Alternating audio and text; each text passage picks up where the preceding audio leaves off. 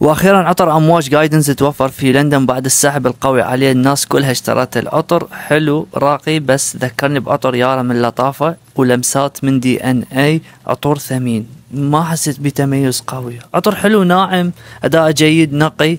فعلا إنه تعبانين عليه بس يعني فكرته حسيت إنه مثل عطر يارا من لطافة زائد لمسات من دي ان اي عطور ثمين. عطر يعني بيه البندق واللبان وورد زعفران ياسمين خشب الصندل ambroxan وفانيلا.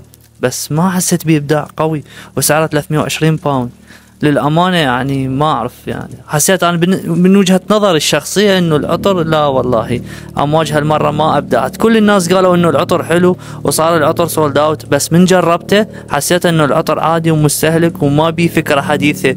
عطرين دامجين بعض دي ان اي ثمين مع عطر لطافة يارا وها هي بأداء أقوى ونقاء أقوى وحلو هو العطر بس مو بتميز قوي وشكرا لحسن الاستماع ولا تنسى تتابعني هذا ذوقي ورأيي الشخصي